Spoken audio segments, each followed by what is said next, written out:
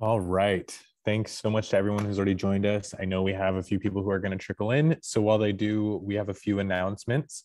Uh, first, we're recording this session and it's going to be available in Whova, the conference app, within a couple of weeks of the Congress ending. Um, if you'd like to ask our speakers any questions during the session, please use the Q&A area to the right of the screen.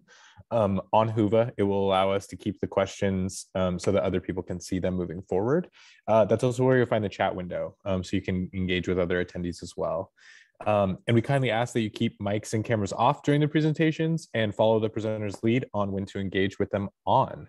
Um, I think we are ready to go get go ahead and get started. So I'm going to hand it over to our moderator, Matt, to start us. Great. Thanks everyone for for joining on and, and to the speakers to this tree mortality, post-fire tree mortality session. Um, just want to mention again that please join us for the fire circle on Friday if you can. And with that, uh, Alina, um, it's uh, please go. Just gonna share my screen here. Hey folks, I'm gonna kick off this part of the session, um, and it looks like we're moving from, you know, physiology really into empirical modeling. And I'm going to give you an introduction to the database a group of us put together. Um, it's been out for a couple years, so you might be familiar with it already, but my goal here is really to both give the background on development and what's in it to set up a couple other talks and give the whole audience um, information on considerations for use of this data and talk about the data representative representativeness of the database as a springboard for new data collection and further and future contributions. And I've got to make sure my screen advances. so one sec. Okay, there we go. Um, first, I want to acknowledge my collaborators on this project. This started out of my postdoctoral work with Sharon Hood um, at the Missoula Fire Science Lab, Forest Service Fire Science Lab. Also involved in that project were Morgan Varner and Phil Van Mantgem, and this collaboration has continued um, with Timothy Shearman and Micah Wright, who you guys are going to be hearing from, uh, building on the database we've developed and doing future work with it. So, and also I want to acknowledge that this was all funded by the Joint Fire Science Program.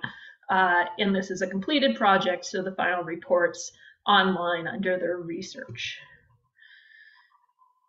The data I am talking about was developed based on contributions from over 41 studies and a whole lot of different people contributed the data.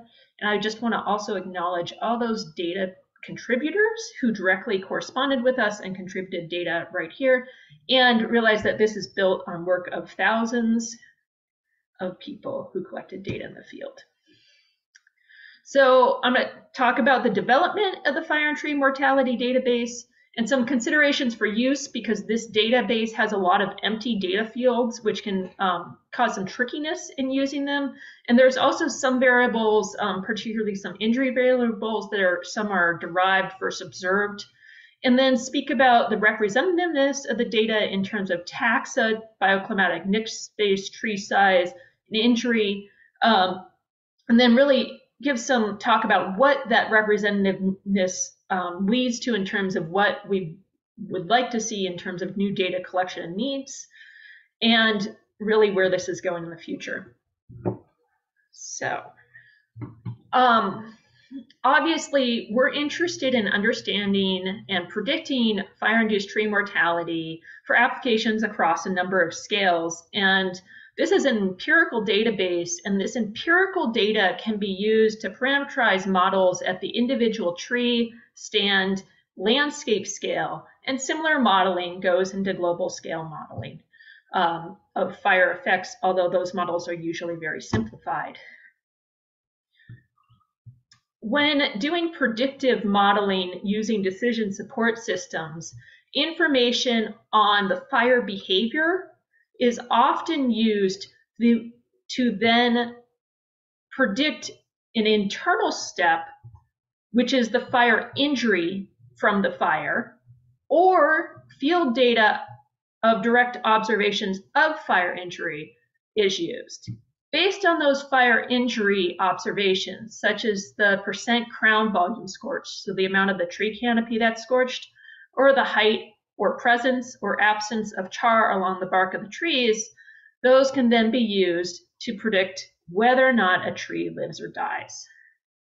These same um, empirically derived mortality models are used in a variety of decision support systems. And our goal with putting together this database in part was to support future development of and refinement of decision support systems, but it was also to improve our theoretical and basic understanding of tree mortality processes and factors um, operating at a variety of scales. So we have a fire and tree mortality database. And when we built this database, we required individual tree measurements of the species. Uh, mostly, we allowed some trees in that didn't, that were just identified as trees, but almost all the observations of species. The diameter at breast height and some measurement of fire injury. Now, those fire injury, injury measurements varied a lot from data set to data set, and crown length scorch and crown volume scorch were the most common. We also included information on other stressors such as bark presence, uh, bark beetle presence, not bark presence, and we needed post-fire status, but it varied which years that was measured in. Most common was a measurement in year three, and then year one, and then the first five years after fire generally were more likely to have measurements than later, or observations of tree status than later. Some data sets only had one observation of tree status, some had many. We'll come back to that issue. So we basically built this data by asking, hey, hi, will you share your data with us?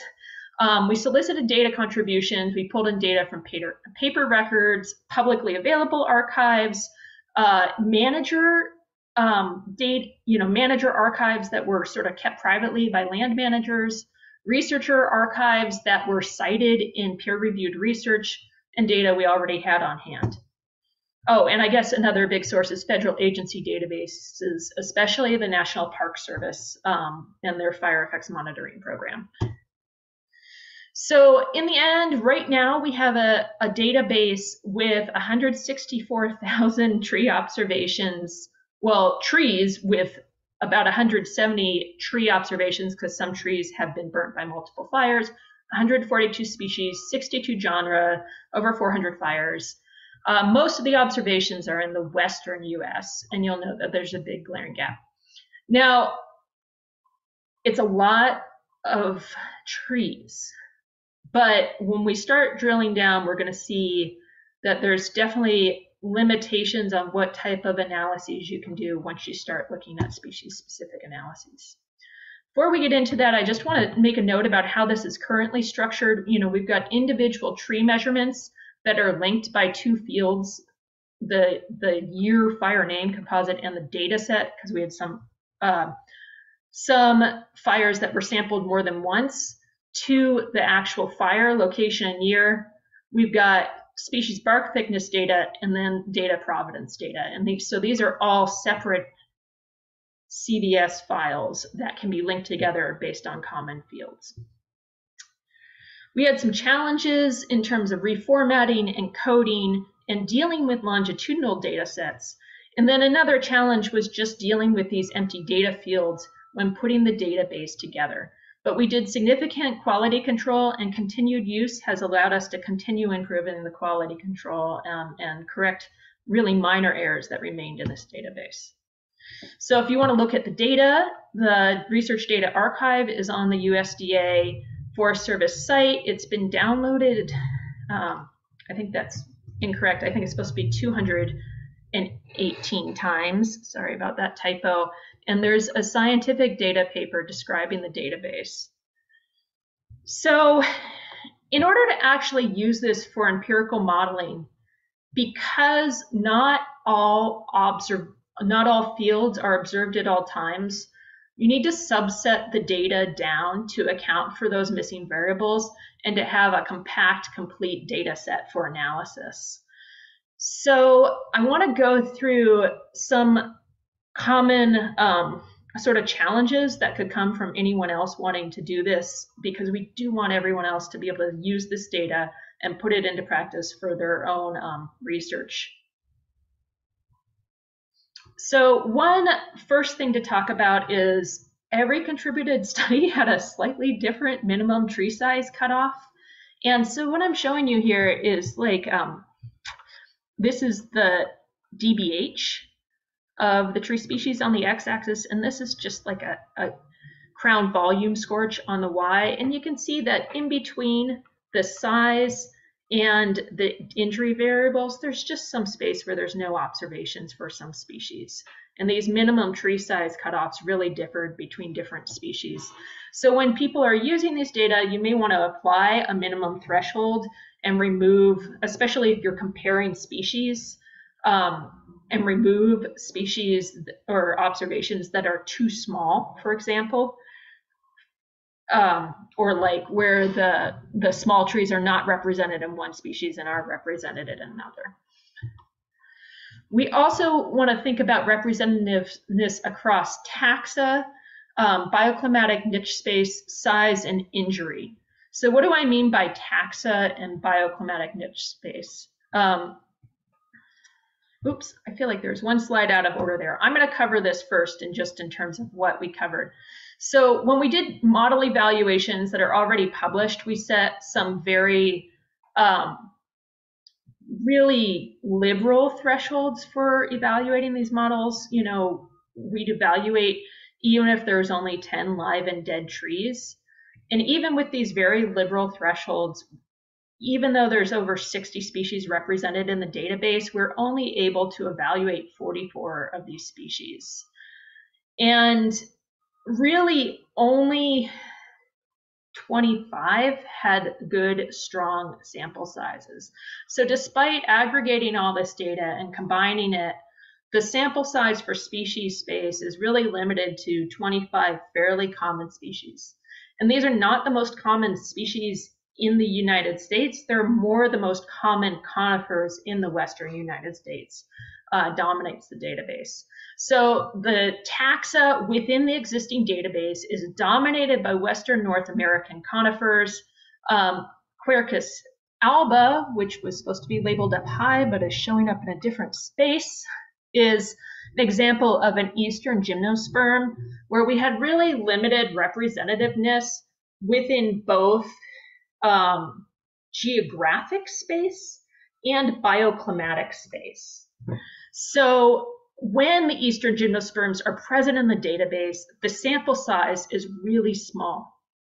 And one approach would be to combine data for different, um, say, different eastern oaks, but they have really different traits, so that might not be the best approach to get good information.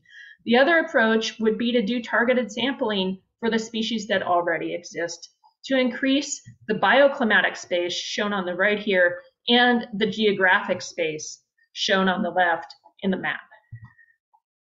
So just to give you an idea of what we have um, with like sufficient sample sizes to even like look at the data and do any analysis, you know, in terms of gymnosperms, there's, or angiosperms, there's just a, a handful listed that had enough to analyze and assess. But in terms of gymnosperms, there's a lot of Western gymnosperms, but very few Eastern. And then, sort of as a preface to the talks that are coming later in this session, once you start applying stricter data standards to this database, the sample of species that can be assessed really decreases. So if you require that in, an injury variable such as crown volume scorch be assessed in the field, um, your data set decreases.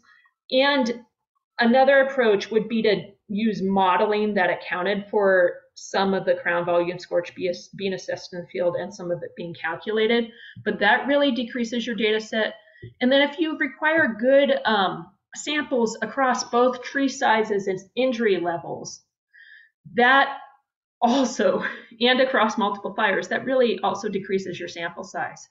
So what I want to do here is highlight a few species that we do have large samples of and these species, still once again dominated by Western conifers, had sufficient samples across crown volume scorch injury levels, diameter sizes, um, with at least 10 samples per fire represented and at least 50 samples of trees. Now, for certain types of modeling, you really want to have a sufficient number of samples within each fire and across fires, right? And so if we do that, we really decrease our sample down to four main species, um, Douglas fir, ponderosa pine, white fir, Abies concolor, and Pinus contorta, lodgepole pine. And you'll see an example of us using those four species for analysis later in this session. So where's more data needed? Clearly it's needed in angiosperms. There are some challenges to this based on the availability of field sampling methods in angiosperms because they drop their um, leaves, they're deciduous, most of them. They evaluating crown scorch is maybe not the best way to assess fire effects. So just, we may need to enter additional fields or find different variables to assess the injury to angiosperms in the fields. And right now, the way the database is currently set up, we don't track resprouting, although that could be something that we could do in the future if the data became available. I would suggest that for species where there are like relatively large sample sizes, that targeted data collection across more fires and geographic gaps would be um, a syner- uh, additive way to really improve the data. And here's the species where that could happen. We've got Quercus kelloggii, which is an oak in California. And we have quite a few samples, but there's portions of its range that aren't sampled and portions of its bio- bioclimatic space where there's here high climatic moisture deficit, which might be of interest, um, where we haven't captured any samples this is also true in terms of genre. We've got quite a lot of samples of different juniper species aggregated together. There might be enough to do an additional analysis focusing on, focusing on juniper, but when they're separated, they're not. And then, you know, in addition to targeting the undersampled geographic and bioclimatic space, we also want to sample the tree sizes that are not represented in the database such as where there are few small trees, but we actually have pretty good samples outside of those small trees. So where are we going with this in the future? Um, one thing I want to talk about is we're planning on putting out a new version, an updated version of the database shortly in response to some work we've been doing with it. And what this version is basically a minor change to the database. So in this case, we're going to be doing a couple things. Um, one is originally I coded this so that we infilled missing values for when trees died. Um, so if a tree died in year two, all the subsequent years we considered it to be dead. And one thing we found was that it doing that kind of removed the information of when these trees were sampled. And I think we're going to revise in this version of the database and not do that infilling and leave it to the user to decide how to deal with zombie trees, so trees that died and came back alive. There aren't that many of them, but they do exist in there. Um, and then how to use the data on when the observations in the field, true observations took place, and to choose themselves of whether or not to fill in missing variables. From there, we can also publish new editions, and it's always been our intention that this be a living database. When we built it, we did a lot of cleaning and processing of the data ourselves. For new editions with new data sets, we're going to ask for contributors, follow the formatting um, that's already set up for the database in terms of values that are allowed and column names. And then we've I'm working on developing our scripts to rapidly test the QA/QC of new data. If you're interested in contributing new data or doing targeted data collection, please feel free to contact me or Sharon Hood about the database. And just some big picture things in terms of looking forward. I'm almost out of time, but I think I'd say thinking about traits and the scope in terms of the geography of data is stuff we want to do in the future as well. So I'm going to stop there and open it up for questions. Right, so we're we're near. Um, I think one quick question um, would would be okay. Is there, uh, Sama? Is there anything? Nothing yet on Whova. Okay, I think I'm going to say. Can I jump in with one quick one for you? Please. Yeah, Tucker. Um, have you have you used the? I know you've um, used the database to look at different aspects of what's contributing to the uncertainty in mortality predictions. Um, and I'm curious if you've looked at like regional differences or elevational differences, um, sort of site level, if site level uh, factors are contributing to that. Yeah, and for Phil's talk, he's going to talk a little bit about climate, and that started to get into the questions of fire to fire variation.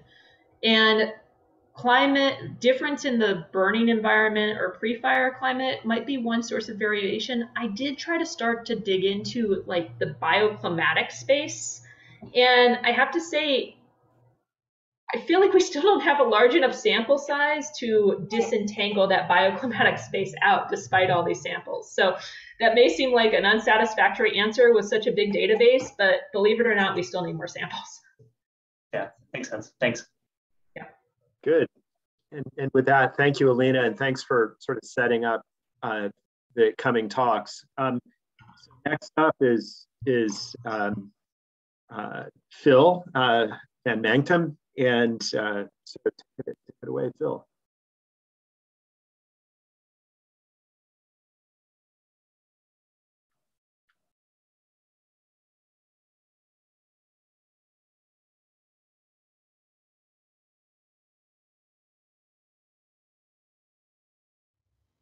Good afternoon. I'm Phil Van Mantgem. I'm a research ecologist with the U.S. Geological Survey in Arcata, California.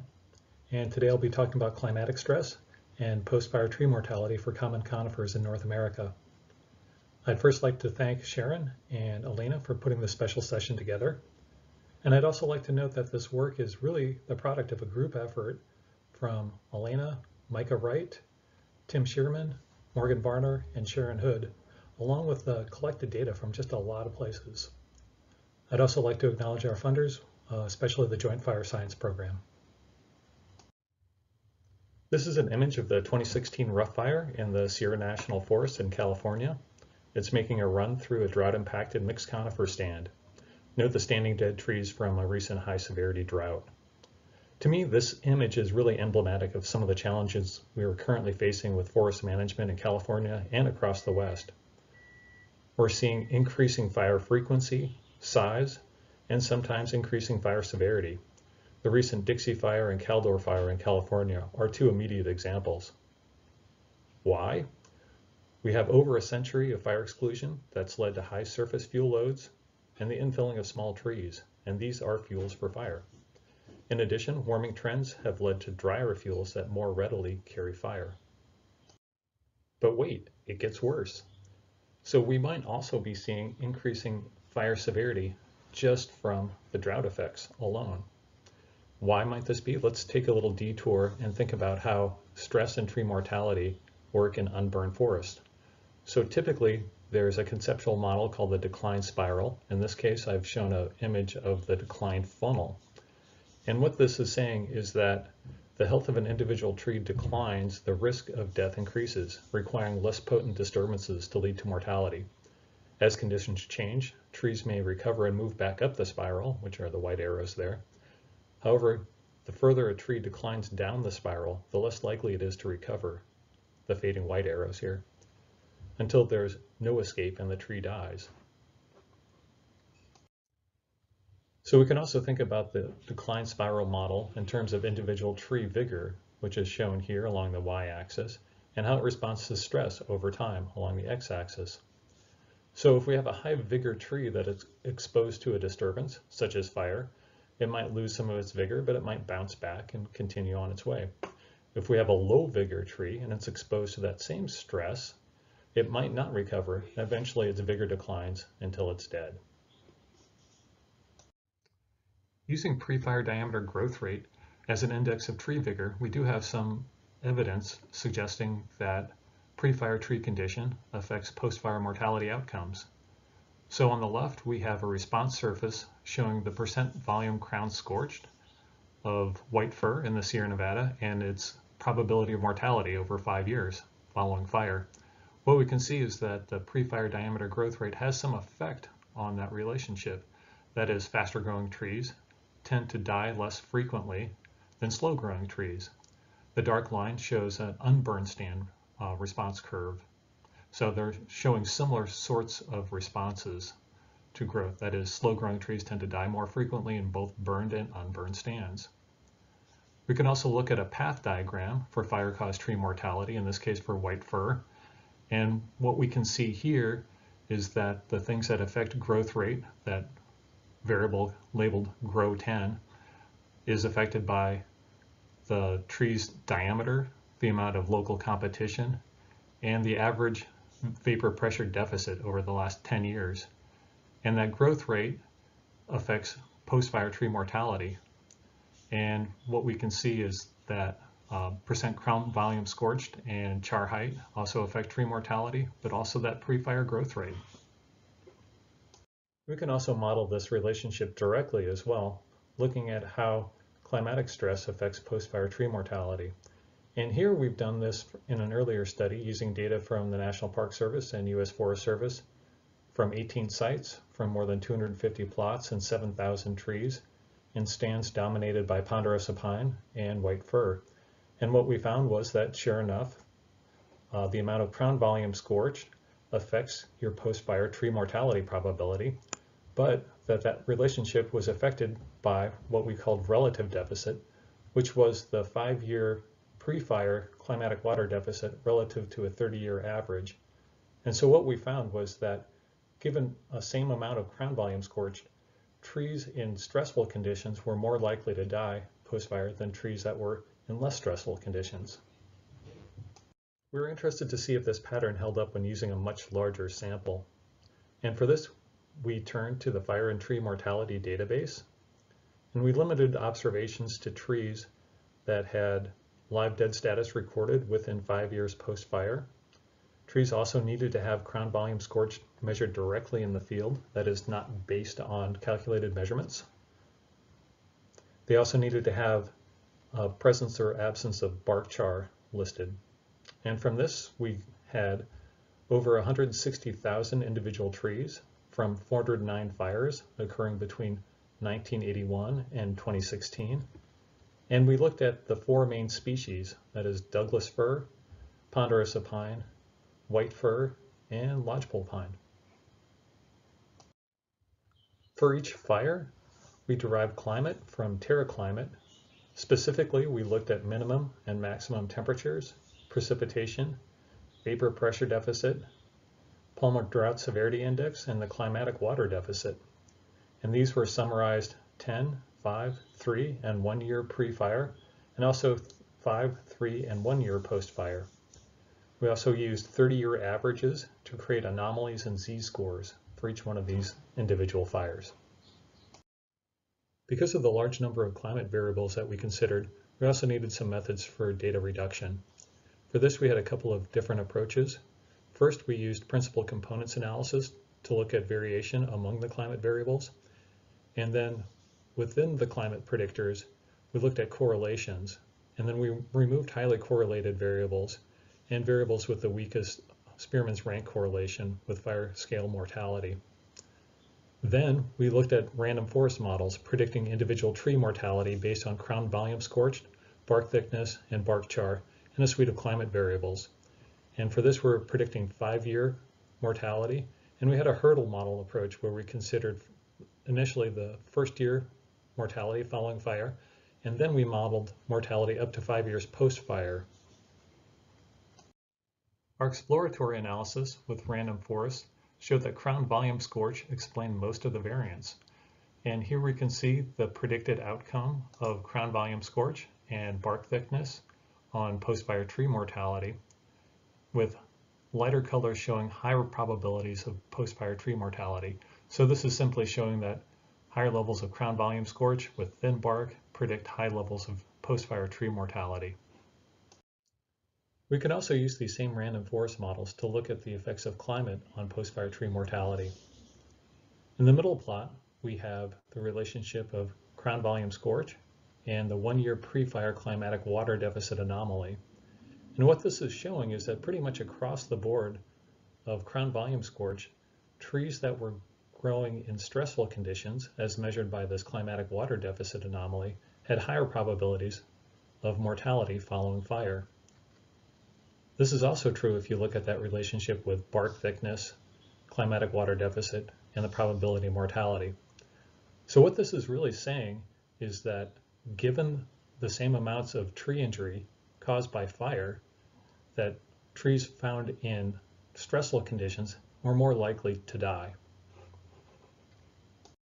We can also use the random forest models to understand the relative importance of each one of the predictor variables in describing post-fire tree mortality probabilities.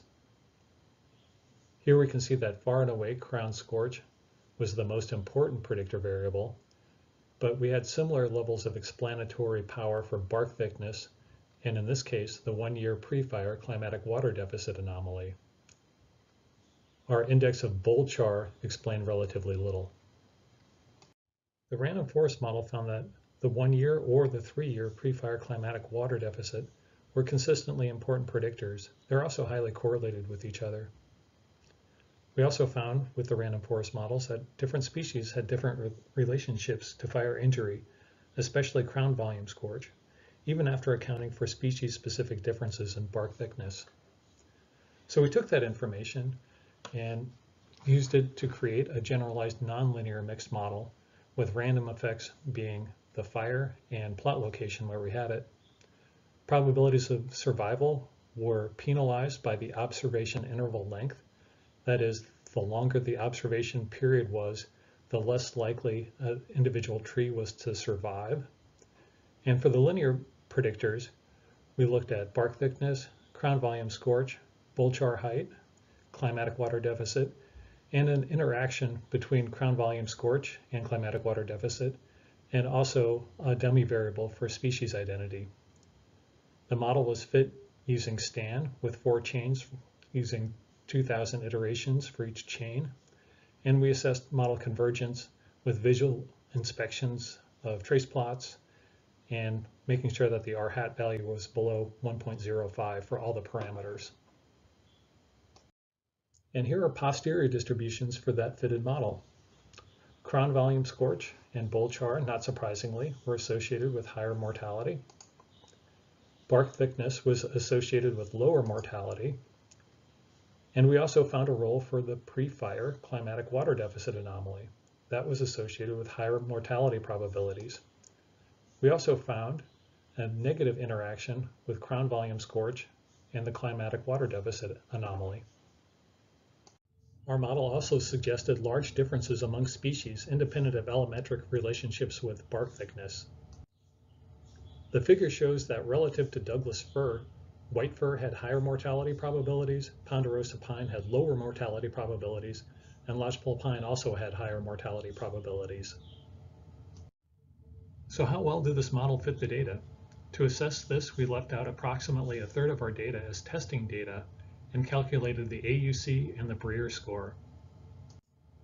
The Brier score is equivalent to the mean squared error as applied to the predicted probabilities. Therefore, the lower the Brier score is for a set of predictions, the better the predictions are calibrated. The figure highlights model predictions with the species terms and without the species terms.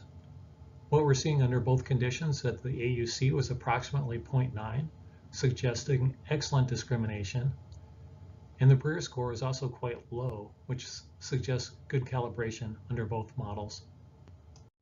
To help understand what our model was saying, we created a series of prediction plots varying the intensity of the pre-fire climatic water deficit. These conditions included the historical climatic water deficit derived from TerraClimate, but also the pre-fire climatic water deficit depicted under increasing temperature, 2 degrees and 4 degrees Celsius. So here's a prediction plot depicting the interaction between crown volume scorch and pre-fire climatic water deficit. We have crown volume scorch on the x-axis and predicted probability of mortality on the length scale for ponderosa pine on the y-axis. The blue line shows the expected mortality under the historical climatic water deficit. The red line shows the expected mortality under more stressful conditions where the temperature is increased by 4 degrees. What this demonstrates is that the effect of pre-fire climatic water deficit is most pronounced for trees with low levels of crown scorch. We can also use these prediction plots to help visualize differences among species. We have crown scorch on the x-axis and the predicted probability of mortality on the y-axis. And each one of the panels shows the species-specific response to changing the climatic water deficit scenario.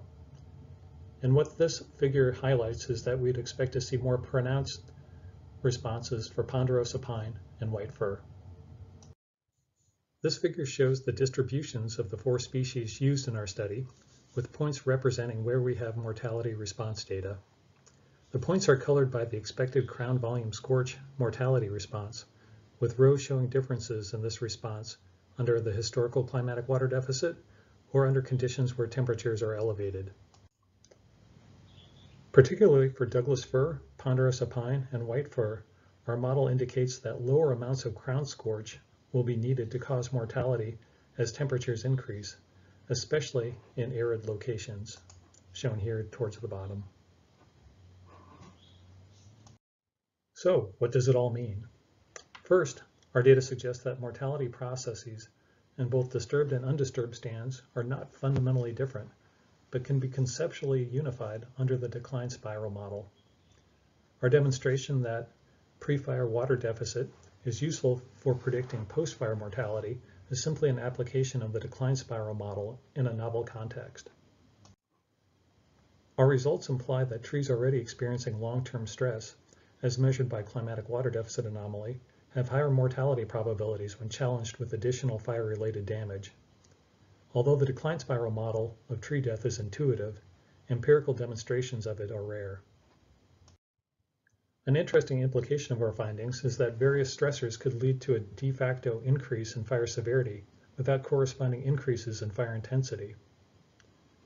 For example, here are the stress complexes put together by Littell et al. for mixed conifer forests in California. And what this shows is the various stressors that can eventually affect tree mortality, ranging from high temperatures and droughts, fire exclusion, ozone. Eventually, this leads to tree mortality, which in turn causes increased fuel accumulation, which might lead to large and severe fires. Our results suggest that there might be an additional pathway where higher temperatures and more severe and extended droughts lead directly to more severe fires if fire severity is measured in terms of tree mortality. The final take home is that there's a lot we still don't understand. We only considered relationships among four species and obviously, there's a lot of additional species out there. I think it would be particularly interesting to look at angiosperms, where there might be fundamental differences in relationships between fire-caused injuries and subsequent post-fire mortality. And while we had a large data set, we still did not cover the entire range of some widely distributed species, such as ponderosa pine. It's possible that individuals in the hot, dry, trailing edge of their distribution may be more sensitive to the effects of moisture deficits. I'd like to emphasize that these results were taken from observational data. We really need experimental results to help pin down some of these relationships. For example, there's a recent study that found well-watered ponderosa pine seedlings survived moderate intensity fire, while drought-stressed seedlings did not. However, we can look towards a counterexample using drought deciduous larch that didn't find this pattern. We simply need more of these kinds of studies to help understand what's going on. Widely used planning tools currently only consider crown scorch and bark thickness to predict tree mortality. It may be early to start including climate and fire mortality relationships into these tools, but with expected increases in temperature and drought, this may become a more important consideration in the future. And with that, I'll close and I look forward to your questions. Thanks a lot, Phil. That was nicely done. Um, so we're we want to get back on track. We're a little there's there's less than a minute. So any any quick questions? Sama, do you have anything on the chat? Nothing that's come in for Phil, but we'll keep watching and we can roll into the next speaker and come back to it if anybody has any questions in there. Okay, good. Well, uh, getting back on track here. Um, our next next up is uh, Tim Shearman, and uh, so please take it away, Tim. Thank you. Uh, thanks everybody for joining me poolside at the uh, Sandestin Resort. And um, I'm going to share my screen. All right. So I'm going to continue uh, this morbid discussion on tree mortality. And um, first, I'm going to start off uh, by thanking all of my co-authors here, who I'm sure everybody here is probably familiar with their work, Morgan, Sharon, Alina, Phil, who we just heard, and Micah. Uh, they've all helped me um, kind of wrap my brain around these models that I'm going to be talking about. And so uh, I'm just talking about empirical models here. And because as Alina's talk earlier today said, um, this is these are the type of models that are currently available to uh, for decision makers and uh, land managers. And for tree mortality, they generally, all right, um, are in the form of logistic regression. So, uh, and it makes perfect sense if you have sort of a uh, binary response, the tree's either alive or dead, and you have some predictor or a linear combination of predictors, you can fit this uh, linear regression formula and come up with a model that can help predict new observations. And uh, this paper by Woolley et al. does a nice job reviewing uh, logistic regression uh, models for post-fire tree mortality. But what generally uh, happens in the data that's used to fit these models is you have uh, one of two scenarios usually is either you have most of your trees survive and you only have a few dead trees, which is the case in especially in the southeast when it's prescribed fire and there's surface fires. Or on the opposite hand, you have serious, uh, severe fire where most of your trees die and you don't have a lot of live um, trees. And so you have this sort of imbalance of uh, classes. And what we showed in our paper a couple of years back, um, when you use logistic regression in these imbalanced cases, so here we um, did a simulated uh, different mortality rates.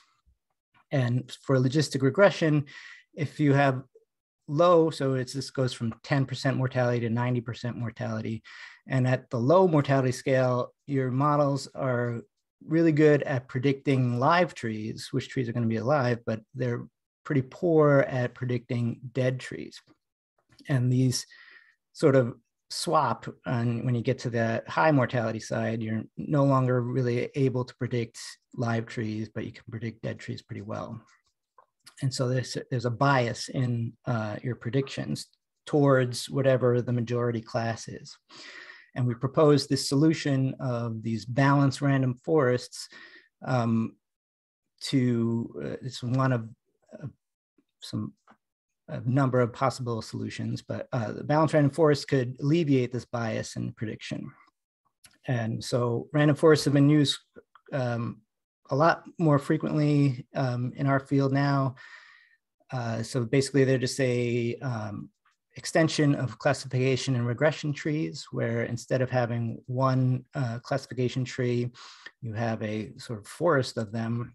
And in each one, there's a random set of observations and predictors, and that randomness sort of alleviates some of the over um, overfitting that regular CART models tend to have. So in a balanced random forest, each one of these trees in the forest has a, equal number of alive and dead stems when it's being fit.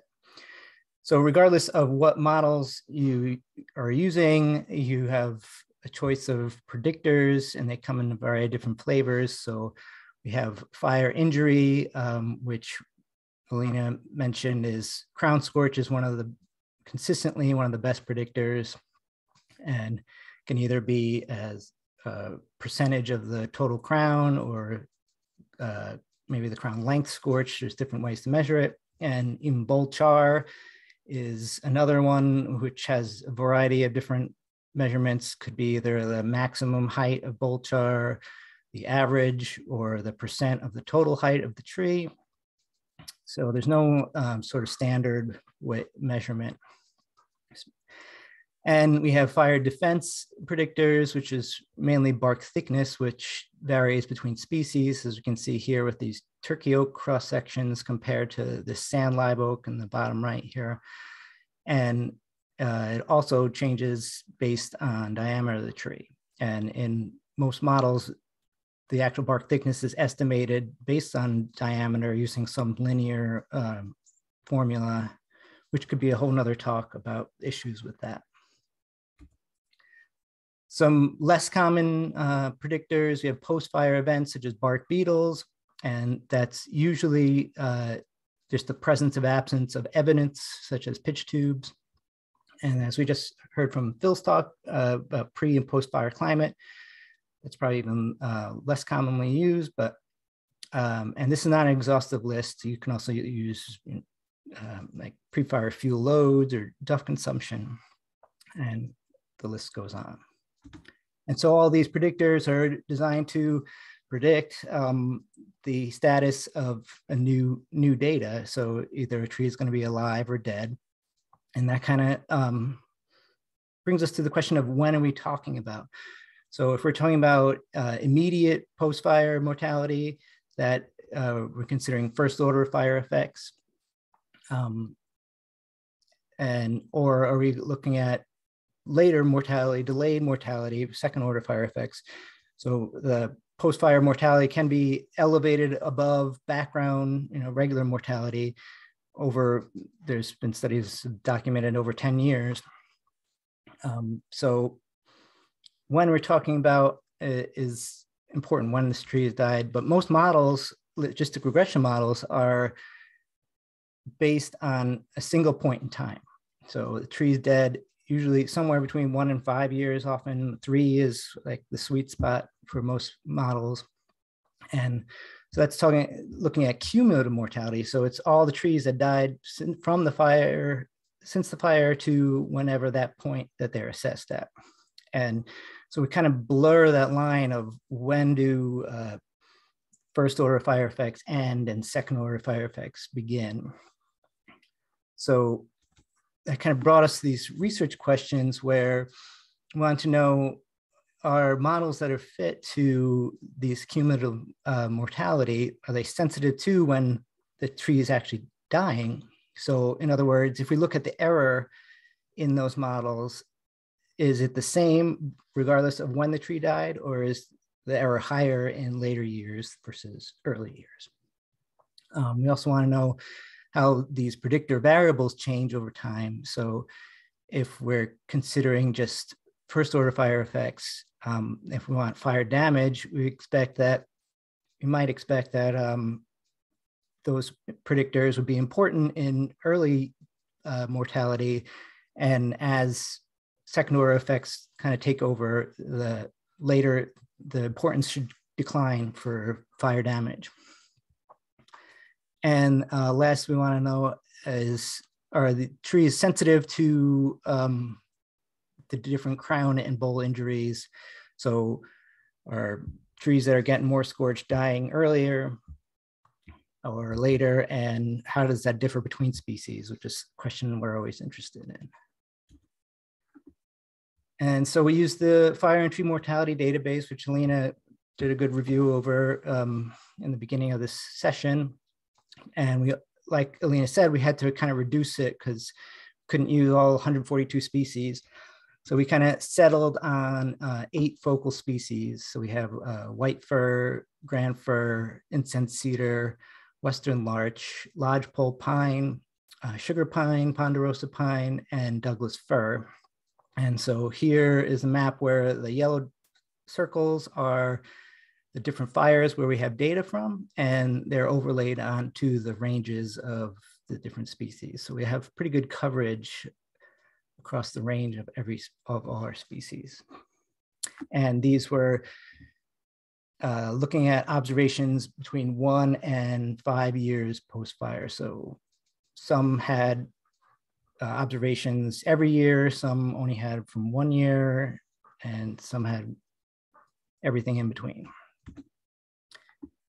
So we started uh, by fitting a cumulative random forest model, a balanced round, random forest, where we had a tree status, it was either alive or dead, and it was a function of uh, crown volume scorch as a percent, bole char as a percent of total height, and diameter. So we're looking at fire damage and protection. And we did a separate model for each species and a separate model for each post-fire year. So these variables were measured, scorch, char, and diameter were measured right after the fire, right? You have to measure scorch pretty quick, soon after the fire. But the tree status was not necessarily measured at the same time. Sometimes it was measured year one, year two, year three, and so on. Um, and we use uh, cross-validation to see the performance of the models and how, how they did. And again, this is cumulative mortality. So at five years, we're looking at all the trees that died right after the fire up till five years. And if we look at the accuracy, so here we have um, the solid line is total accuracy, the dashed line is uh, the ability of the model to predict live trees, and the dotted line is uh, the ability to predict dead trees. And they look pretty good. They, they do decline most for most species, um, except for freaking incense cedar. It looks amazing, like no matter when. Um, but in ponderosa, you know, the predictability to pre predict dead trees kind of goes to the upper 60s, maybe 70 percent. These look good, but if we take a look at the error, um, so these are just dead trees, uh, we can see that um, we have trees that died in year one and trees that died between years two and five. So we grouped them two to five together to kind of increase our sample because sometimes we weren't sure exactly when. So for example, if the tree was measured, uh, surveyed in year one and it was alive, and maybe it was only surveyed in year five and it was dead, we don't know when it died. We know it died sometime after year one. So we sort of group these together and we see that all the models are pretty bad at predicting the later death, especially if we look back at incense cedar, which was looked so great before, but now it's 75% of it between no matter what model you use is wrong at predicting these later deaths. And the reason why it looked so great before was because most of the trees actually died in the year, first year. Um, so if we look at importance values, so this is the value of if a variable is important, then if we replace that variable with just random numbers, then we would expect accuracy to go down. And the amount that goes down is the importance. So uh, the red is scorch, um, the orange is diameter, and black is bole char. And so this is importance for the solid line being uh, dead trees and the dashed line being live trees. And so for white, for example, for example, scorch in year one is, you know, almost 40%. That's how uh, important it is. So if we removed scorch, our accuracy would go down by 40%.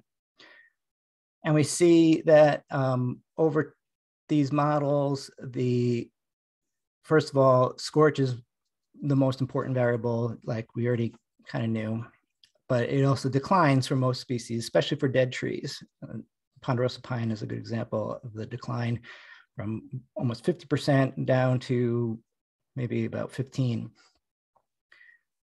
So this is an indication that um, maybe these fire damage aren't as good as predicting later on, and maybe we might need more var- predictor variables such as uh, like beetles or or um, climate might be helpful. So we tried a, a different uh, class where we, um, the beauty about random forest models is it doesn't have to be just a binary response. So here we made random forest models where we had live, dead in year one, or dead in years two through five. And um, we used the same predictors. Again, we had separate model for each species and we did cross validation. But now we have um, models that if we looked at, this is total accuracy between live trees, uh, all the models for each color here is a different species. They're all okay at predicting live. They're really good at predicting dead in the first year. And they're kind of mixed between two through five and five. Um, so we can look at partial dependence plots, and I probably could have used all my time to look at these plots, but unfortunately I don't have time, but we can definitely see differences in species. So this is where the model would predict uh, dead year one, dead two through five, or live, and the transparency is that probability. So a couple things to note, like so ponderosa, we see that U-shape um, survival. So medium, this is diameter on the y-axis. So intermediate sized trees have higher survival uh, with crown scorch. And then we can continue that through, um, this is crown volume scorch and bole char. We see a lodgepole pine is just gonna die from most fires. Uh, it's not really good at resisting fires. And um, if we look at the last one, is bole char in diameter, um, which you can see these are all really transparent. So it's the probability is really low, but these were very low um, importance, these, these predictors. But so that kind of changes things up. So to uh, wrap things up, we have um, mortality models. Uh, they do seem to be biased uh, if they're cumulative uh, on the first year, and we might need these secondary fire effects, or we might need these other predictors to help with delayed mortality. And we definitely see differences among species.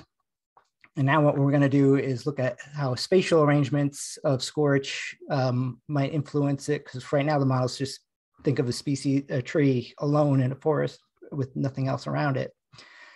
Um, and how would ignition pattern might affect these scorch. And I guess I'll leave it right there since I'm pretty much out of time. So.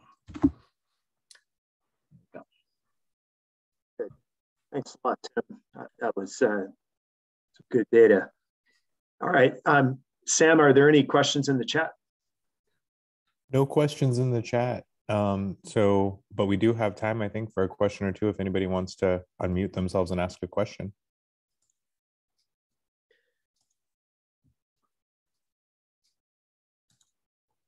Yeah, I, I don't know the, the, the answer to this, otherwise I wouldn't ask it, I guess. But so Crown Scorch, you know, has kind of combines, you know, tree characteristics, but also fire behavior characteristics. And maybe, maybe that's why it's such a good predictor whereas bark thickness is only a sort of a tree characteristic. It doesn't hold any information on on on the fire.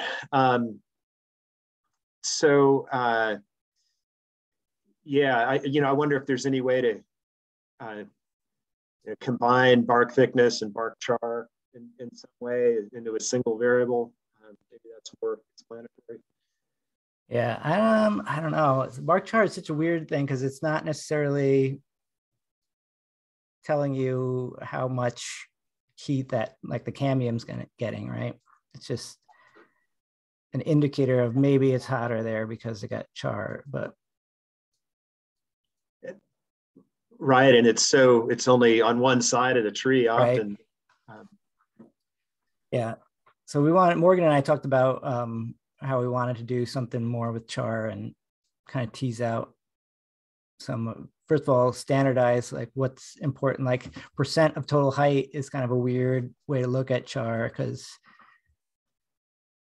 it for a tall tree versus a medium sized tree, you could have the same char height, but that percent would be different, right?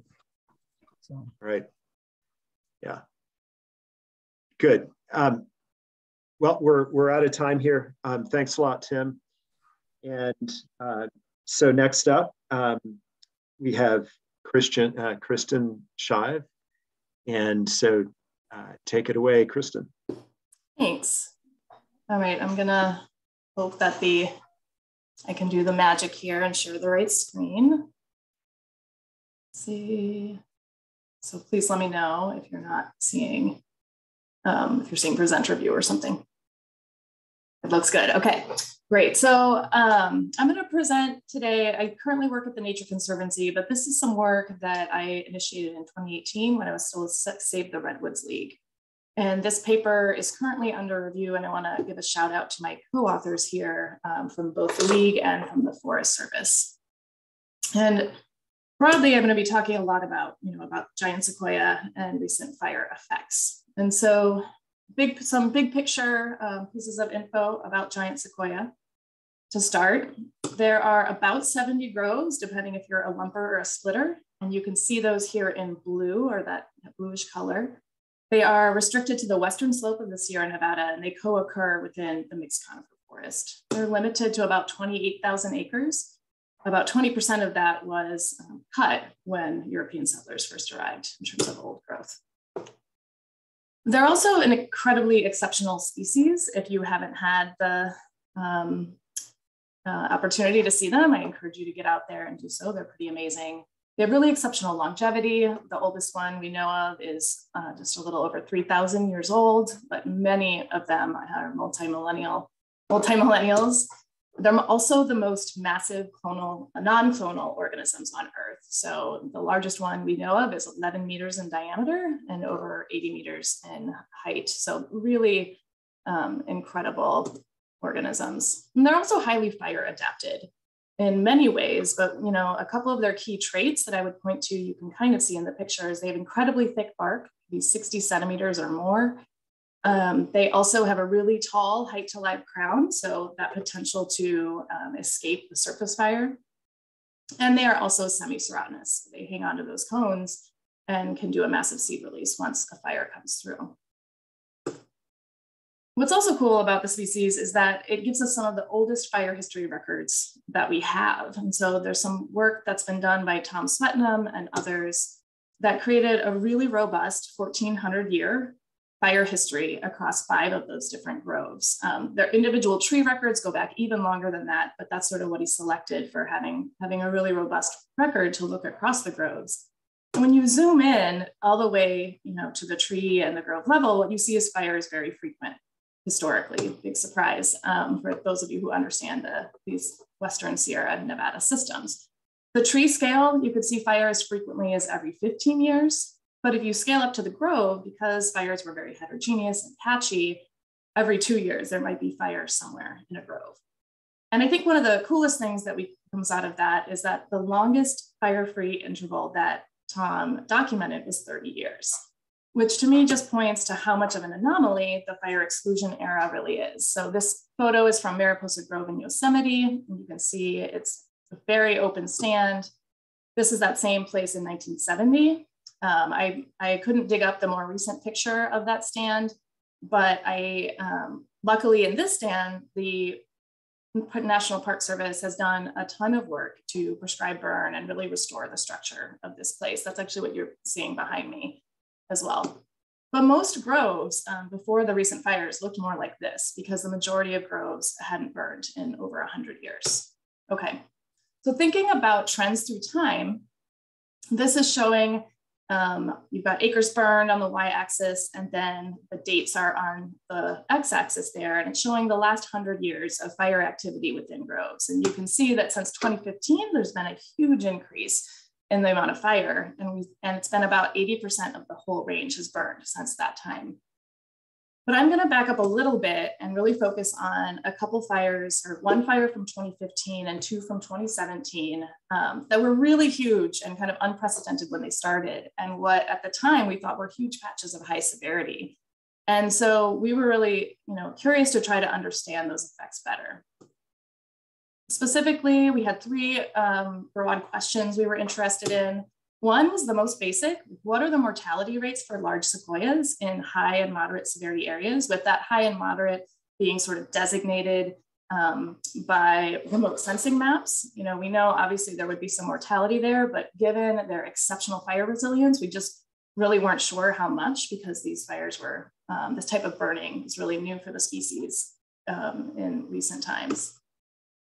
Then we also looked at what tree characteristics and topographic variables were linked with mortality for all the fire areas. What's noticeably absent is everything that um, was just talked about in the last talk, all the first order fire effects. We didn't include it for the model that had all three fire areas because one of them we visited five years post fire and we were a little bit, um, we didn't feel like our estimates of things like crown scorch and torch were very reliable. So this is just sort of a broad brush look at where trees were dying but then we also have one grove, Black Mountain Grove, where we um, we were there immediately or one year after the fire, and then we tracked trees for three years. And so we can look at delayed mortality and some of those um, and, build, and build some of those predictive models based on first order fire effects. And then we'll also look really quickly at how that compares with the models that already exist. Okay, so in terms of our study sites, again, I'm going to rewind the clock. So 2015, there was the Rough Fire that burned in Giant Sequoia National Monument and Sequoia Kings Canyon National Park.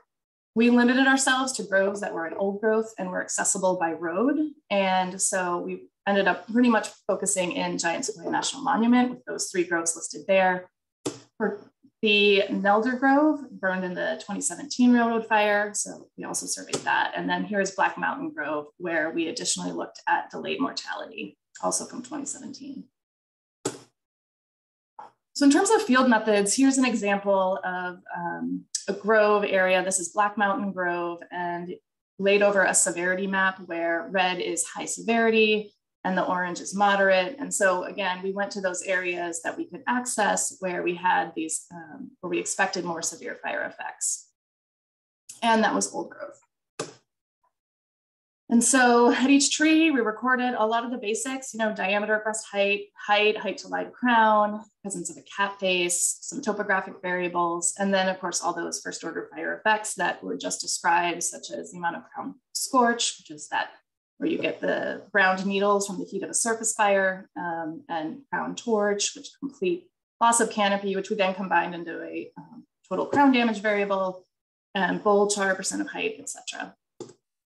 Okay, so in terms of what we found, um, the mortality rates for large sequoias, which again, we defined as 1.2 meters or greater, um, well, first of all, for all of our fires, I should say, we surveyed 459 large sequoias. That's what we found. And we did a complete census in those areas that I highlighted. And just to give you a sense of um, those trees, the mean size was about 300 centimeters, but the range was anywhere from 124 to 950. So we had um, a pretty big range, but a lot of very, very large trees. And the mean height was about 62 meters. I think it's worth noting here just that we observed over of 30 trees that had over 90% crown torch or full crown consumption. And again, given their exceptional height, when we first went out to survey these, that was pretty surprising. Most of the people who you know manage and study sequoias didn't quite expect such severe effects in these trees. 41% of that you know, total 460 um, large sequoias were dead by 2020. And when we looked at mortality by severity class as defined by the composite burn index, and within the high severity, uh, we had the sort of the mean between the three fires was 84% of the trees were killed, but that ranged within individual fire from 75%. Um, two of fires were at about that. And then one of the fires, we had 100% mortality in the high severity. So in, in moderate, it was significantly lower, 28%. Um, and that ranged, though, again, anywhere from 14 to 45%, depending on which fire you were in. Okay, so in terms of um, those individual tree characteristics and topographic variables um, that could help predict mortality for all the fire areas, which again, we're sort of leaving out the first order fire effects for now because we lacked that data in the rough fire. Um, our potential variables were those that you see here. Uh, we also, I forgot to add there, but we also did look at um, climatic water deficit and um, annual precipitation. And what we found um, was that the three most important were cat face, crown ratio, and elevation. And quickly, I just want to note this, um, what a cat face is for those of you who might not know. So this sort of basal hollow that you see at the bottom of many giant sequoias, it can get quite large. Um, these are initiated by some initial injury, usually fire, and then over the years, successive fires continue to open these areas. And we think there's a few reasons that this could be related to um, that this there, there are a few reasons that this is a good predictor of mortality and one is that all of that area is basically you've gotten down to dead wood and so there's not there's no cambium there. So the tree overall just has a lot less cambium to work with. They also have the potential to funnel fire up to the crown. And so um, that alone you know from all most firefighters know that when you're working on a fire in giant sequoia in particular, you really need to keep fire out of there because it can be very hard then um, to contain fire after that, after it gets um, established up in the crown. And then lastly, um, you know, you also have much thinner bark at the edges uh, where the tree is continually trying to heal. So I think that's one of the reasons that um, it came up so important in terms of crown ratio and elevation. So here you see crown ratio with the three study areas um, on, sorry, it's elevation on the y-axis and the three study areas on the x-axis. And you can see in general, it's the lower elevation trees that were killed shown in um, that gray color with the live trees in white.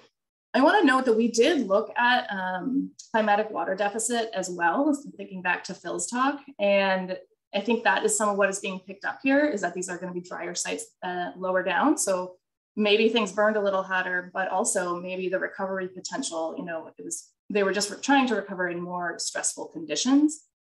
But elevation uh, was a much better predictor than climatic water deficit. And I think part of that is just the scale at which we have um, the data for both of those. And it's much finer scale for, for elevation and we don't have quite the spread that um, Phil had in terms of values for climatic water deficit, given our small sample area. Okay, so with crown ratio, this is basically what percent of the tree's total height is uh, you know, made up of a crown. And you can see that dead trees generally had lower crown ratios, which I think just gets at um, trees that were kind of, you know, on the struggle bus already. They're just, it, you've seen a lot of giant sequoias, you know that um, they can get very scraggly crowns after you know millennia of repeated fire injuries. And I think that those were what we're seeing is that those are a little bit more susceptible. And that makes sense because if you don't have much crown to begin with, um, you know, getting hit by fire, even if it's 90%, some, it's gonna affect you more. Okay, so lastly, I wanted our, our third question what first order fire effects best predict delayed mortality at Black Mountain? Um, I want to emphasize here that some of the other studies that we've been seeing that are trying to build these um, predictive models on delayed mortality rely on thousands of trees. At Black Mountain, we had 200 or 205, something like that. So, you know, these are limited. It's a, it's a limited study, but I think it, it gives us a good first blush at what's going on. And basically, like almost every other study looking at this, we found that total crown damage was incredibly important. Um, the, the, other thing we found was, again, that presence of a cat face, which hasn't really appeared in, in those models previously. And one thing that I would note is if you, um, let's see if I get my pointer, um, you know, the difference is we've got total crown damage here on the y-axis, and then showing live and dead by presence or absence of a cat face. And the number of samples um, defines the box width. And what you can see is in live, we have relatively similar um, numbers with or without a cat face. But for dead, there are far more actually that had a cat face that did not. And so it's, it's really, um, it really stood out as a very important predictor. And when we compared models with and without it, it was a significant improvement. Okay, and so in terms of what the thresholds for crown damage might be, we looked at them for both, you know, um, cat face and, and no cat face. And if we assume that 50% probability of mortality means that you're likely to die, you see that with a cat face, sequoias can withstand about 85% crown damage, and without, they can withstand up to 90, 95% crown damage. I think even if you used a higher threshold for your probability of mortality, you would get a pretty similar result because those curves are really steep at that point. So then we compared these to the existing models, of which there are two. And the first comes from Stephens and Finney, where they looked at um, much smaller sequoias, so less than a meter diameter. And, um, and what they found, this, this was a study from 2002, um, and what they found the best predictor was strictly percent crown volume scorch. The other place that there's an existing model is in FOFEM, the first order fire effects model, that so many of the, um, so much of the data that has been presented in the session today is used to feed into this. Um, and it's a, you know, it's a model that managers use to predict mortality from prescribed fire or to consider what they might need to do for harvest operations. And in this one, it's percent crown volume scorch and bark thickness, but the bark thickness isn't actually specific to Sequoia. It uses the bark, bark thickness for Port Orford cedar. And so when we compare them, I'm showing specificity and sensitivity here, where specificity is the modeled, the model predicted live versus total actual live. And you can see that they all are pretty similar in terms of their performance. But when you look at sensitivity, which is that model predicted dead over total dead, which is really, frankly, what people are really concerned about in Sequoia right now, the potential loss of these ancient trees, um, our model did quite a bit better than the existing models. Now, this is a little bit unfair because we used our data to build our model, um, and obviously an independent data set would be better. But I suspect that the inclusion of a cat face will sort of stick as an important predictor here. Okay, I'm running over here, but um, really quickly, I just want to kind of put these wildfires in context and talk also about how we've been able to use this data. So this work is from um, a paper that we're just starting to prepare. Um, but as I said, you know, in 2015 and 2017, we had about almost 700 acres. And I apologize, I did not put these in the hectares. I have a mental block on on acres specifically for some reason. I cannot think in hectares. Um, so about 700 acres burned in these two fires that we are really concerned about. And that has been really trumped in the last couple of years in terms of amount of area burned in giant sequoia and the amount of high severity. So we're now up to about 4,500 acres of high severity in sequoia, and um, that's 16% of the range. It's too soon to know exactly what the extent of those impacts were, but because we had mortality rates from these prior fires, we were able to estimate that last year's fires may have taken out 10 to 14% of all large sequoias across the range. This year's fires, maybe 3 to 5%, 13 to 19%. Like these are really, this is a really alarming trend. And so I'll just wrap up by saying that, you know, where do we go from here? I, I think that we have to we have to race to the little bit of unburned that's left and get some prescribed fire on the ground so that we can make those stands more resilient. But I also think we need to focus on the potentially beneficial acres that occurred in these recent wildfires, of which there's a lot, maybe 18,000 acres. Of course, some of that moderate severity is actually going to be quite hot, uh, burned quite hot, quite high severity end of that, of that spectrum. Much of the undetected probably didn't burn at all, though we saw this picture here was an undetected change pixel from a recent fire. So, so yeah, not all of these are, are in perfect shape, but we can leverage these and try to, you know, maintain resilience going forward. I see it as actually an opportunity. So anyway, with that, I just really want to quickly thank Save the Redwoods League that funded all of this work, the Forest Service as collaborators, um, FRST, a consulting group that helped us with staffing, and then my employer.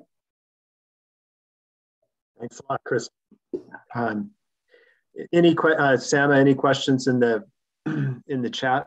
Yeah, we do have one from Liz who says, Great talk, Kristen. Do you think wrapping the cat face trees would make a difference in mortality rates?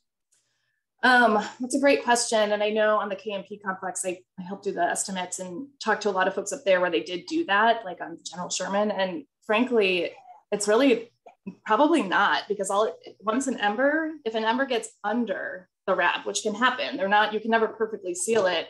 Then you've actually created a little oven and you're actually sort of potentially making it worse. I do think though that scraping the base to try to keep fire out of those cat faces um, is something you can do in that sort of emergency protection mode. Awesome. We have one. We have another one here. Um, did you see mechanical failure in the cat face trees? We saw a few, yeah. And you know, to be honest, from prescribed fires, that's the way we thought they always died. Was that was the main thing. Um, so there were, I would think, maybe let's say less than ten in the data set. Um, I'd have to look it up, but yeah. So there were a few, but it was definitely not the dominant mechanism.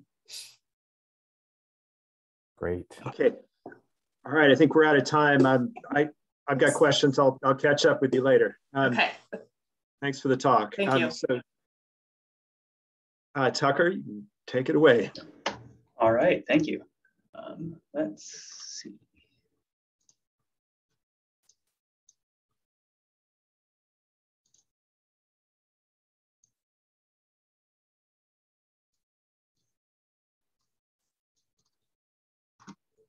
Okay, can you see my screen? I think so. I can't hear anyone, so I'll assume it's yes, working. looks great. Excellent. um, yeah, hi, and welcome. Thanks for joining me. Um, I'm going to be talking today about uncertainty. Um, and specifically, I want to explore how thinking about uncertainty and explicitly incorporating it into our quantification of burned landscapes can make models more useful, um, even if we can't actually reduce the uncertainty in a statistical sense. And the key idea that I hope to convey is that uncertainty is not simply prediction error that's best ignored. It's potentially explainable ecological variability, and that variability is actually really central to the ecological function that fire is providing. So the first source of uncertainty that I'll address stems out of the question, which trees will die after fire and which will thrive?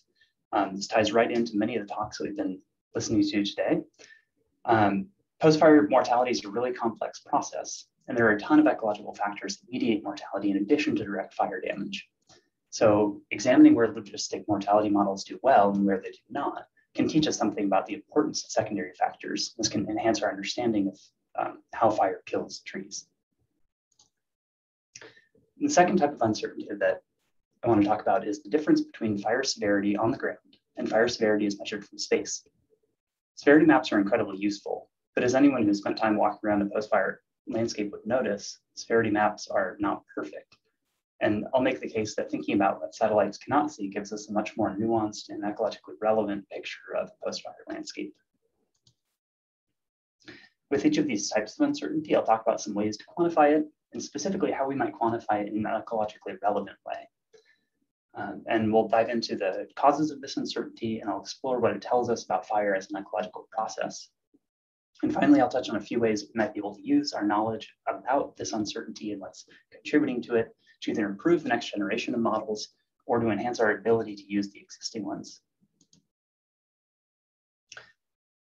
Uh, so first, a quick overview of logistic mortality models um, that we've been talking about today. Um, so nothing particularly new here, um, but these models are the basis for um, the mortality predictions in FOFEM and the forest vegetation simulator. So they're super widely used. Um, and they're widely used because fire damage is an excellent predictor of mortality. Uh, prediction accuracy is generally well over 90%. Um, but the accuracy of these models is predicated on the relationship between fire damage and mortality risk remaining constant. Um, and in this novel world of climate change, um, that assumption is, is sort of more and more in question.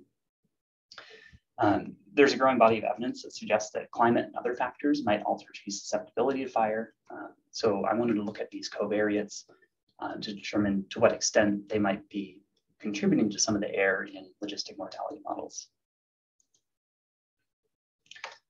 To explore sources of underlying prediction error, I used two longitudinal tree mortality data sets from the Sierra Nevada.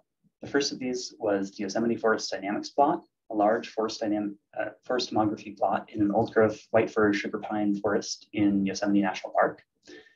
The single big plot is 26 hectares in size, and it contained over 34,000 live trees before it burned in the rim fire in 2013. And then to expand the scope beyond the single plot, I combined the YFDP with 18 one hectare plots um, from the Sierra Nevada Forest Dynamics Plot Network, distributed throughout similar forest types in Sequoia, Kings Canyon, and Yosemite National Parks. This produced a combined data set comprising 50,000 trees from 19 different sites, including 23 years of annual mortality surveys and six different fire events between the years of 1990 and 2013. Each of the plots was stem mapped, so I was able to calculate neighborhood metrics for each individual tree. And the 23 year time span captured fire events that burned following both wet and dry periods. I built mortality models based on crown scorch alone, as with models contained within FOFEM. And I compared these models to enhanced models that contain terms for either climate and local neighborhood crowding. For climate, I used three-year pre-fire climatic water deficit. And for neighborhood, I used um, basal area within a, variety of neighborhood radii, radii around each tree.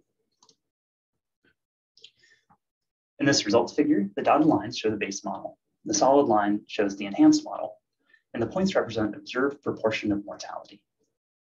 As expected, base models did well, but there was significant improvement in the model performance with both climate and crowding models. The top row here shows climate results.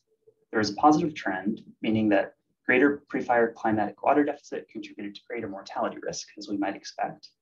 Um, but we can see from the points that this relationship wasn't always consistent. Um, there, is, there is a lot of variability around um, in individual plots. Um, so it appeared that something else was contributing to this difference in predicted versus actual mortality risk. And this might have been uh, one of the things that is probably missing is local neighborhood crowding. Um, so the bottom row is, is crowding effects. Um, this is also a really important mediator of post-fire mortality risk. Um, this was evident in the proportion of survival shown here, where trees in open neighborhoods had a notably greater chance of survival compared with trees in dense neighborhoods. To compare climate and local neighborhood directly, I put the two variables on dual x-axes big surprise of this study was that for trees with intermediate to high levels of fire damage, crowding actually mattered more than climate. Um, I think this, this, it's interesting that Phil pointed out earlier that climate was more important for trees with lower levels of uh, lower levels of crown scorch. Um, so that's perhaps one of the reasons for this sort of trade-off in the relative importance of climate crowding. Um, so for two generic trees with 50% crown scorch, a tree that burned under drought but was in an open neighborhood would actually have a greater chance of survival compared to a tree dense neighborhood that burned following a wetter pre-fire climate.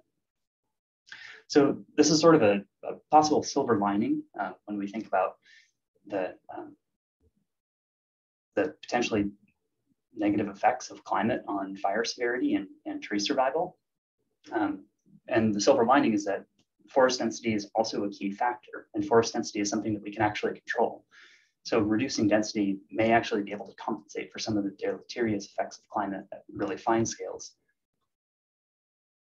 We specifically controlled for the effects of climate on fire intensity by partitioning trees into crown scorch categories because we were interested in how climate affects trees' ability to tolerate fire damage. Um, so these results don't reflect um, the more direct effects of climate on flame length and fire intensity, which are also contributing to greater fire size and severity at broader scales. And with that, I want to scale up. Um, I want to shift gears and talk about uncertainty in the relationship between satellite drive fire severity and field-based metrics of severity. I'm going to focus on tree mortality as the primary metric of field measured severity. Uh, because in forest, tree mortality is often the one thing that we're most interested in. So patches of high severity are a topic of great concern and rightly so. Big high severity patches require more active post-fire management for to retain forest, and they can lead to type conversion.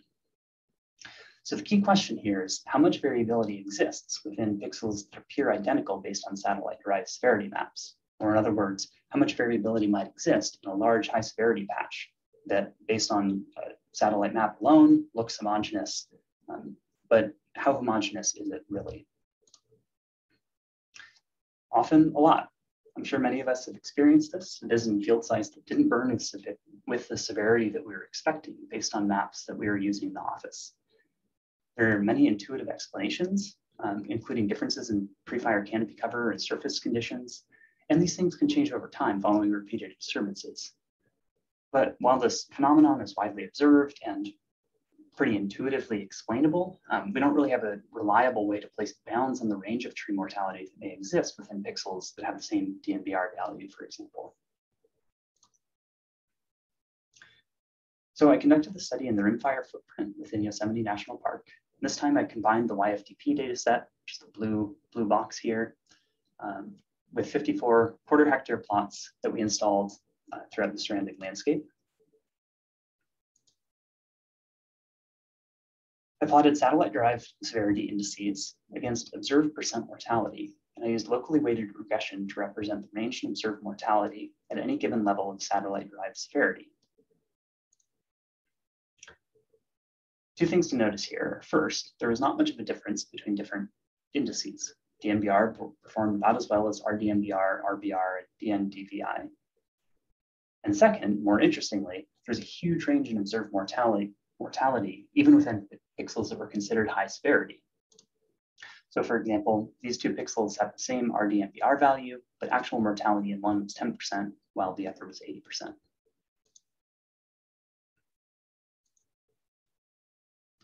So similar to um, logistic mortality models that we were talking about earlier, the overall prediction accuracy is generally pretty good.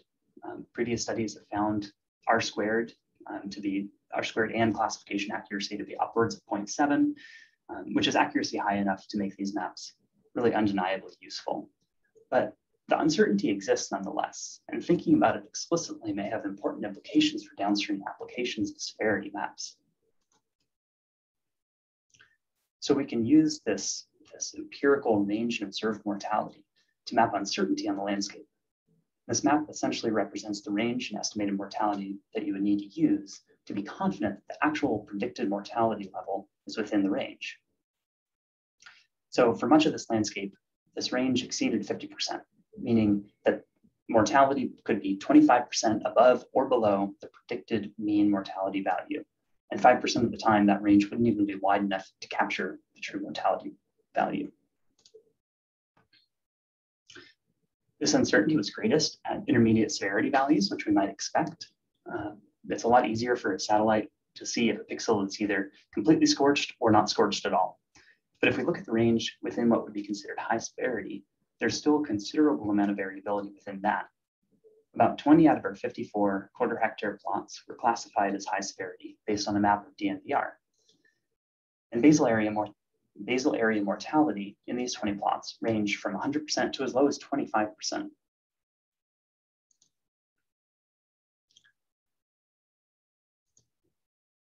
So the point here is not that severity maps aren't accurate. They're reasonably accurate and they're incredibly useful. The point is that when we don't consider this uncertainty, especially when we classify severity into three broad classes, we're overlooking a key source of heterogeneity.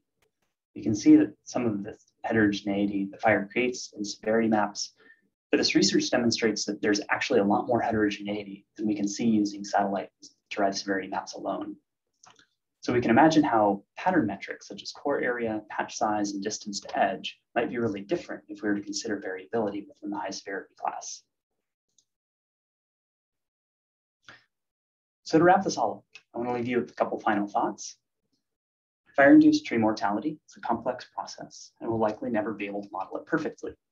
But examining the outliers can teach us what ecological factors interact with fire damage to determine expressed fire severity.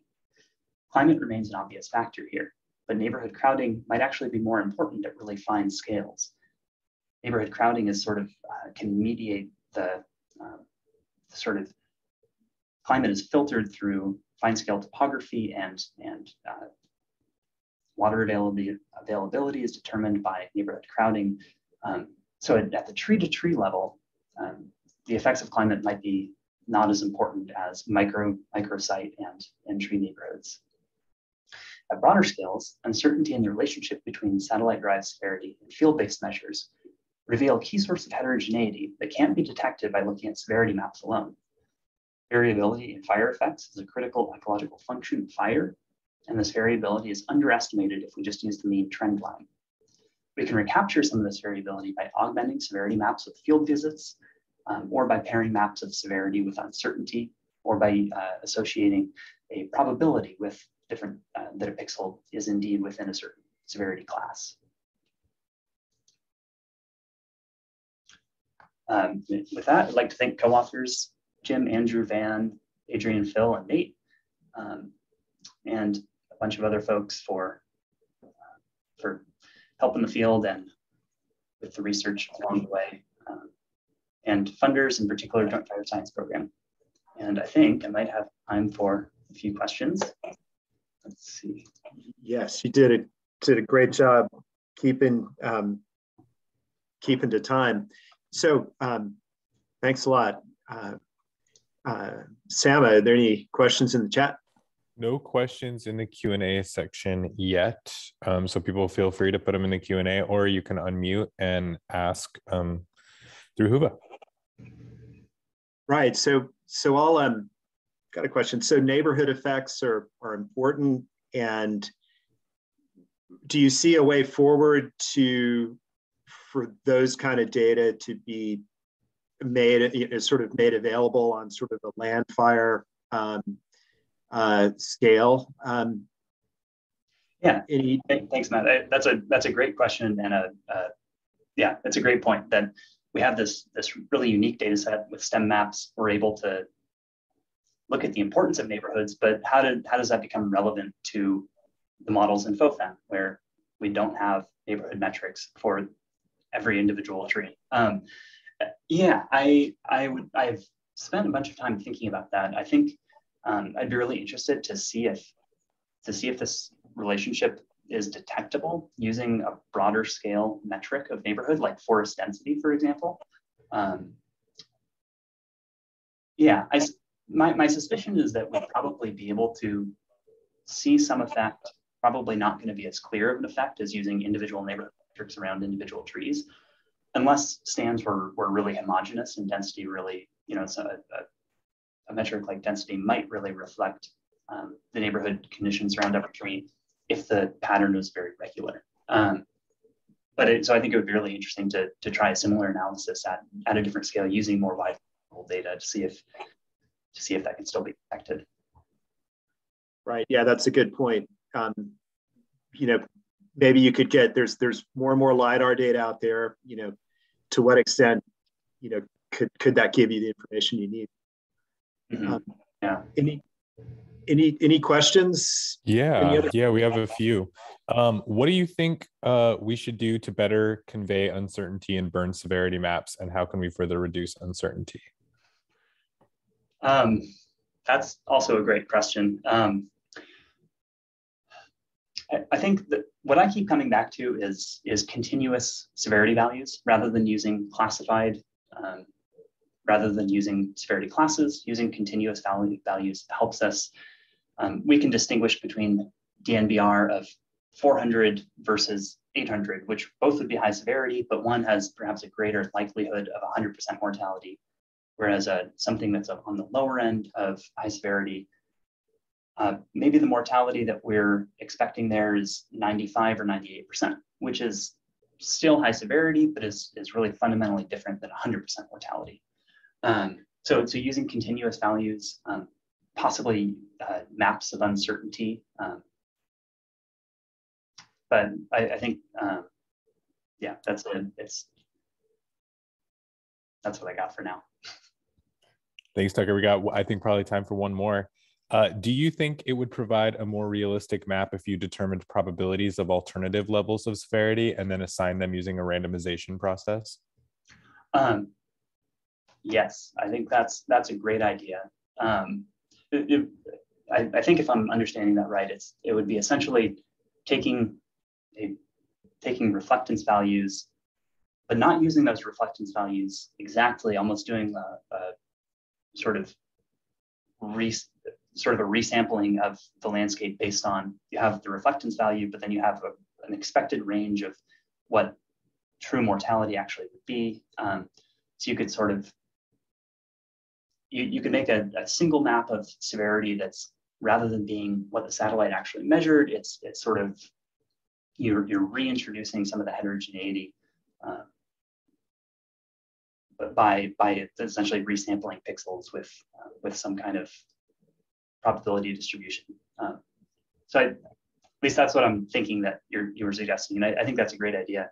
Be useful because then you still you just have the one map of severity. You don't have to deal with with a map of uncertainty or a map of probability that that each pixel is classified correctly, um, which could be kind of cumbersome. You, you still are just dealing with one map, but you're you're somehow incorporating that that extra variability in the map. Um, so I think that that could be a really nice solution to explore. So thanks for joining everybody. Yeah, great. Yeah, th thanks a lot. Um, uh, so um, I'll just tell everybody, you know, if you following up on, you know, any questions you have for any of the speakers, please, you know, please follow up in uh, Whova or the traditional, the normal way. Um, just wanted to, to, to uh, call out tomorrow. Um, so the last part of this uh, post-fire tree mortality um, special session is tomorrow morning. Um, there's a diverse mix of talks, uh, including long-term growth mortality, another remote sensing uh, based talk, uh, process modeling of, of, fire behavior and effects, and then decision support. So it's going to be a really interesting session and also encourage everyone to, to join the fire circle, um, including with your questions. Great. Awesome. Hey, uh, thank you so much to all of our speakers for sharing their expertise and experience with us today. Thank you, Matt, for being our uh, fantastic moderator. Uh, the session two will be available in Whova, the, this conference app, within two weeks of the of the Congress ending. Um, up next, we have our poster session starting at 3 p.m. Uh, that is centered around the Congress theme of Life with Fire Prescriptions for Resilience. Many poster presenters will be available to chat with live uh, to chat with live or answer questions on their posters. So please be sure to check it out. To access the presentations, please click on the agenda tab and select posters. Uh, we hope you join us for some great networking and discussion opportunities this evening, beginning at 5 o'clock Eastern Time. We will have a few Fire Circle discussion sessions, our annual AFE members meeting and open house, and our We've Got a Movie Sign networking session. To choose the one you'd like to join, use the agenda tab to the left of your screen, click sessions, and then click the main session title to join. And also remember to participate in the passport contest by visiting and engaging with our virtual exhibitor booths. Simply click exhibitors in the navigation bar. Attendees with the most stamps will be entered into a drawing to win a free Fire Congress registration for 2023. Thank you again to all of our speakers in that, and hope you enjoy the rest of your day. Thanks, Emma.